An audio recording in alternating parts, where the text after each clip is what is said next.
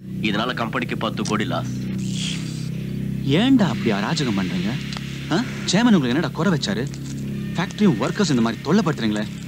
உங்க பிளானை நான் இப்போ சேமன் சொல்லி உங்களை வழி பண்றேன்.